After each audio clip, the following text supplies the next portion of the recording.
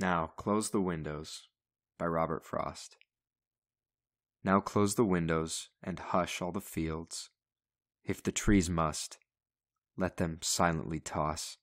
No bird is singing now, and if there is, be it my loss. It will be long ere the marshes resume. It will be long ere the earliest bird. So close the windows and not hear the wind, but see all wind stirred